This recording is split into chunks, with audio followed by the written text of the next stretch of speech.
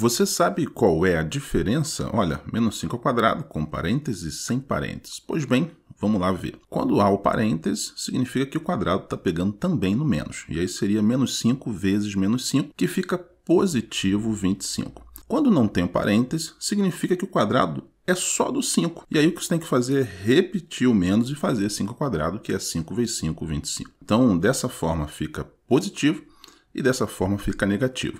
Valeu? Tamo junto.